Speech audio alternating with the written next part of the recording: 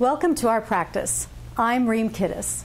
Chances are you found our site through a patient referral and are doing some research before calling for an appointment.